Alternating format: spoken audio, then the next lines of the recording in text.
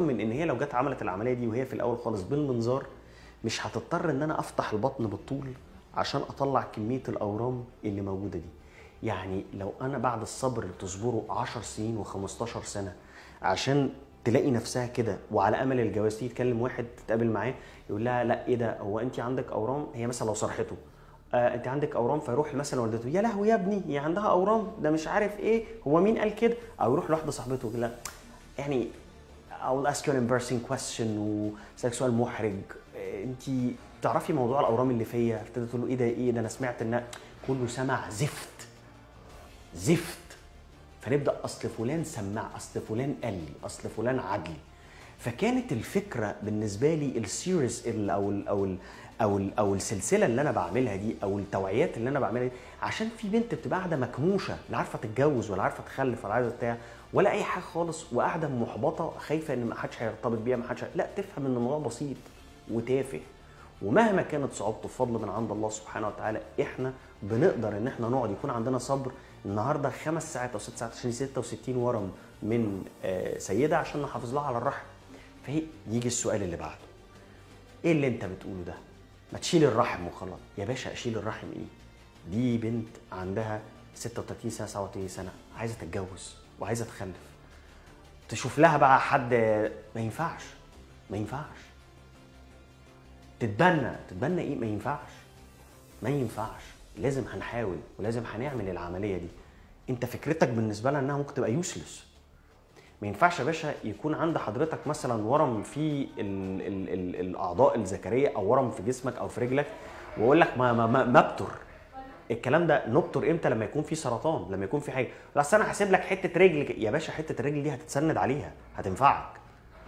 فدي دي دي الفكرة أو دي القاعدة اللي لازم نخش فيها حرب ك reproductive surgeons في أمريكا في الجمعية الأمريكية لجراحين الخصوبة ال SRS أو ال ECRS الجمعية الأوروبية لجراحين الخصوبة أشرف لانتمائي للجمعيتين حتى امتحاناتنا اللي موجودة في هذا المنوال وفي هذا المجال قد إيه كمية الاستاديز وكمية الحاجات اللي بتتعمل عشان خاطر إن إحنا نقدر نحافظ لست على رحم بشكل كويس قد يتفق قد يختلف لكن مفيش حد يختلف ويتفق إن أنا أبقى ماشي ب 4 كيلو أورام في بطني وأقول للعيال سليم طب هيروحوا فين؟ حضرتك متخيل إن هم هيروحوا فين بعد كده؟ هل هينفع تعيش حياتها بهذا المنظر؟ إزاي بعد كده؟ طبقا الفكرة بتاعت الستات طب أنا لو دخلت ما أنا ممكن إن أنا يشيلوا الرحم. لا لأن في أدوات كتير جدا متقدمة بتقدر تخلينا نحافظ على الرحم ويبقى في دورة دموية كويسة ويشتغل بعد كده كويس وإن يبقى في دورة كويسة وإن الرحم يخس حجما ووزنا ويبقى كفء. في 30000 طريقة إن إحنا نعملها عشان نحافظ على رحم جيد للسيده السؤال السخيف طب هو الأورام دي هترجع تاني؟ ما هو يعني كل طب يعني هو ده يعني مثلا ممكن ده ما يعجبش الناس مثلا إيه دي الاورام دي هترجع تاني؟ الأورام بترجع لو الست ما قررتش بقى إنها تسعى للخلفة لو ما أخدتش أدوية تمنع الطلوع وتقلل الهرمونات المح... الكتير اللي عمالة تأثر على هذا الرحم فيخلف؟ لو مش هخلف يبقى آخد الأدوية بتاعتي. ده نفس قصة البطانة المهاجرة. خدي يا بنتي الدواء. مش هتعملي عملية خدي الدواء. طب عملت العملية. مش هاخد الدواء بقى. ما هترجع. ما انت لازم تاخدي الدواء. يعني بعد العملية لازم باخد الدواء.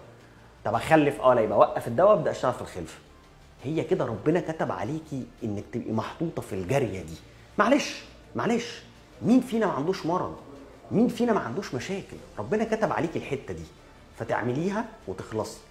الراحة اللي المريضة بتاعتنا النهارده دي ارتاحتها إنها تشيل كل ده من عندها وتخرج سليمة عايشة حياتها زي الفل. ولو كانت جت بدري عن كده كنا لو كانت جت والورم ده ده اللي هو قد كده كان لسه صغير قد كده. كنا شلناه بالمنظار.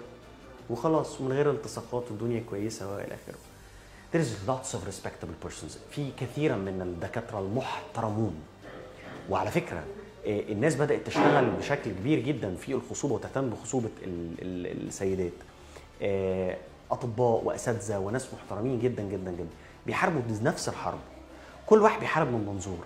لكن اللي أنا عاوز أقوله للبنات واللي عاوز أقوله للستات بلاش يكون عندكم خوف ولازم أكون عقلانية. واسمع أسمع رأي واحد واثنين وثلاثه وأربعة وأفكر. واحد يطرح سؤال طب أنا ليه ما أعملش موضوع القسطره الشريانية لسد الأوعية الدموية للبتاع is very good option يعني ده حل كويس. ولكن حل لا يصلح لواحدة عايزة تخلف.